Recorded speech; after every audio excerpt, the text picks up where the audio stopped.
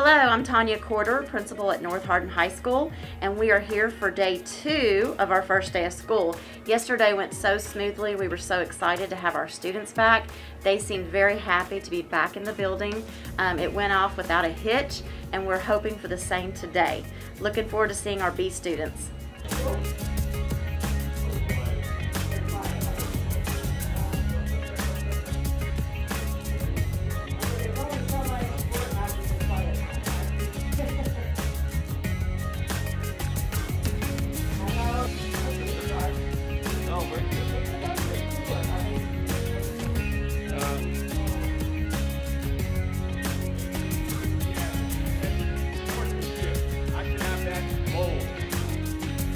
I should have that bowl. Sportsmanship.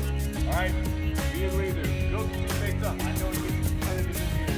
You gotta realize everybody is not on the same level you are. Alright? You got athletes that play, uh, like college ball. I don't know. Alright? Have good sportsmanship. Here's another one right here. Appropriate language. Want you to hear that?